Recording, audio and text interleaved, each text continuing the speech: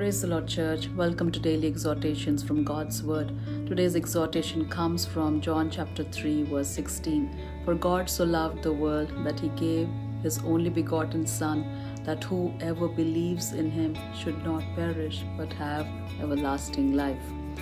God the Almighty, our Heavenly Father, is the one who loves each and every one of us beyond measure. From the beginning of time, God has created each and every one of us in His own image, and He wants to have that relationship and He longs to have that relationship with each and every one of us. But it is the sin inside of man that prevents or restricts us from going into the presence of God.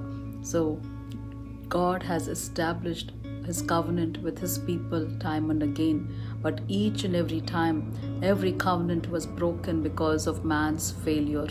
But God has a greater plan for the entire mankind.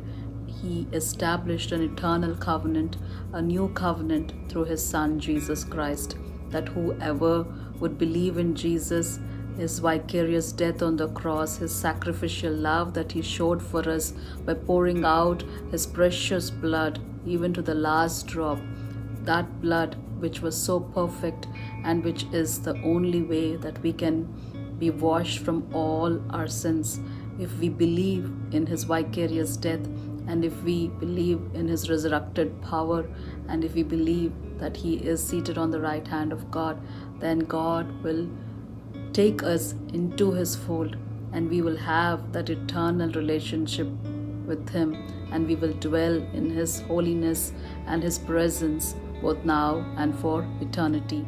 May we believe in Jesus so that our lost relationship with our Heavenly Father would be restored and we will become children of His marvelous light and we will be called children of the living God to dwell in His presence both now and for eternity.